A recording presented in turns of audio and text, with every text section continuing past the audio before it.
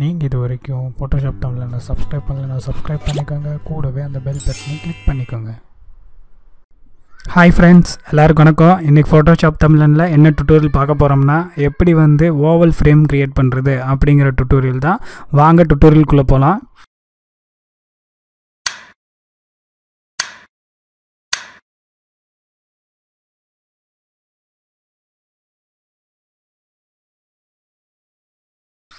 First வந்து நான் என்ன பண்ணிக்கிறேன்னா ஒரு இமேஜ் வந்து எடுத்து வச்சுருக்கேன். இந்த இமேஜில் வந்து நம்ம என்ன பண்ண போகிறோம்னா நம்ம வந்து எப்பவும் போல் கண்ட்ரோல் ஜே போட்டு ஒரு ஃபோட்டோஷாப்பில் வந்து டூப்ளிகேட் காப்பி எடுத்துக்கிறோம். கண்ட்ரோல் ஜே போட்டோன்னே நமக்கு வந்து லேயர் ஒன் அப்படின்னு கிடச்சிரும். அது வந்து டூப்ளிகேட் காப்பி இப்போ என்ன பண்ண போகிறோம்னா நம்ம வந்து ஃபஸ்ட்டு டூல் பார்த்திங்களா? இந்த டூலில் வந்து அதோட ஷார்ட்கட் பார்த்திங்கன்னா எம் ரெக்டாங்குலர் மார்க்கெட் டூல் தான் டிஃபால்ட்டாக செலக்ட் ஆகிருக்கும் அதில் வந்து நம்ம வந்து ரெண்டாவது எலக்ட்ரிப்டிக்கல் மார்க்கெட் டூலை வந்து செலக்ட் பண்ணுறோம் எம் போட்டு.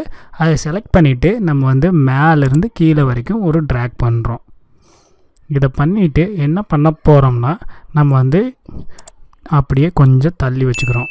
தள்ளி வச்சுட்டு என்ன பண்ண போகிறோம்னா ரைட் கிளிக் பண்ணி நம்ம வந்து ஃபெதர் கொடுக்க போகிறோம் ஃபெதரில் வந்து பத்துலேருந்து பதினஞ்சு வரைக்கும் நீங்கள் கொடுத்துக்கலாம்.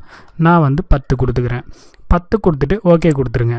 கொடுத்ததுக்கப்புறம் கண்ட்ரோல் ஷிஃப்ட்டு ஐ கொடுத்தீங்கன்னா உங்களுக்கு வந்து இன்வர்ஸ் ஆயிரும். அதாவது மேலேயும் வந்து செலக்ட் ஆயிரும்.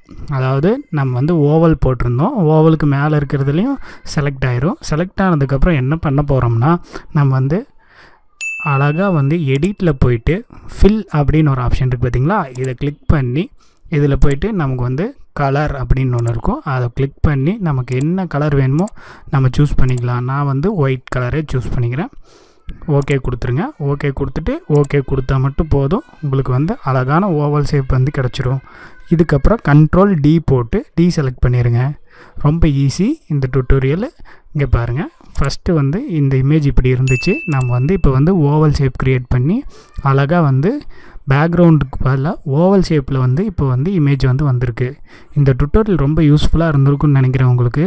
ஃப்ரெண்ட்ஸ் கண்டிப்பாக சப்ஸ்கிரைப் பண்ணுங்கள் லைக் பண்ணுங்கள் ஷேர் பண்ணுங்கள் கமெண்ட் பண்ணுங்கள் வேறு எந்த மாதிரி டுட்டோரியல் வேணும்னு.